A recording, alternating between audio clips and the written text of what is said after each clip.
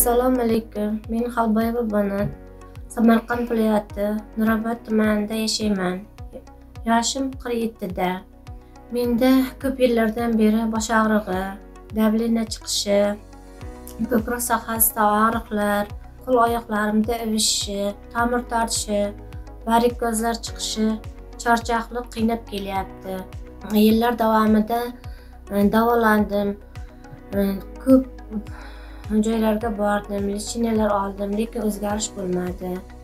Menga eh, biburon kompaniyasini mahsulotlarini taklif qilishdi. Sxema asosida yozib berishdi.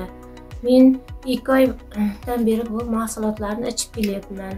Fol eh, marjon kalsiy mahsulotini bir tabletkadan besh kun ichdim. Eh, ikki mahal bir tabletkadan ikki mahal o'n kun bir tabletkada uch mahal o'n besh kun ikki e, e, e, tabletkada uch mahal hozir kunda ichib kelyapman.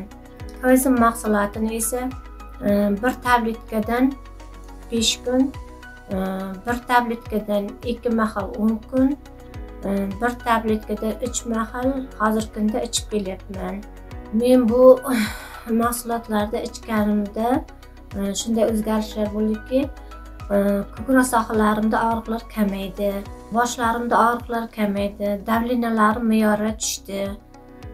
Oyoq qo'llarim uvishlari ancha o'zgardi. Varikozlarim og'riqlari kamaydi. Kompaniya a'zolariga hammasiga katta rahmat aytaman.